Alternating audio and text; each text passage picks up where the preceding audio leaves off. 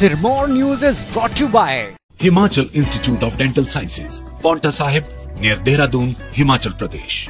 Opening the doors for you. Come on in. It's an entrance to an exception.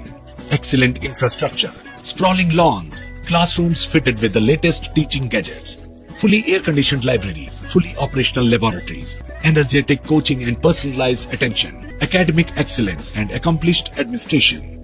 We lay strong foundation for a successful future, an ultimate choice for the students from the northeast.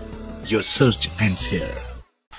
Paonta Sahib के माजरा में SBI का ATM लूटने का असफल प्रयास करते हुए दो युवकों को पकड़ा गया है दोनों आरोपी हरियाणा के रहने वाले हैं और काफ़ी दिनों से क्षेत्र में रैकी कर रहे थे स्थानीय ग्रामीणों की मदद से दोनों आरोपियों को पुलिस ने धर दबोचा है मामला मंगलवार तड़के चार बजे का है माजरा निवासी सावर अली मौके से गुजर रहा था कि उसने एटीएम में तोड़फोड़ करते दो युवकों को देखा, जिसके बाद उसने पुलिस को सूचित किया।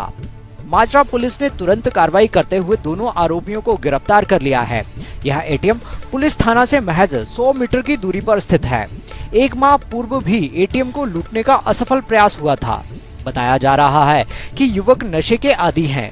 पकड़े गए आरोपियों की पहचान अमित व सौरभ निवासी कुरुक्षेत्र हरियाणा के रूप में हुई है। पुलिस आरोपियों से पूछताछ कर रही है। जिस टाइम हम आए ना जी तो अंदर वो बंदे कार्रवाई कर रहे थे।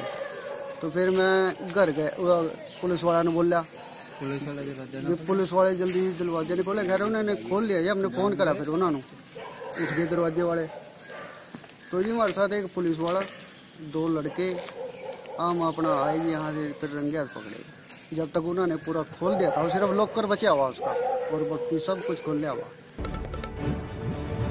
दिव्य हिमाचल वेब टीवी के लिए पांडा साहिब से दिनेश मुंडीर की रिपोर्ट।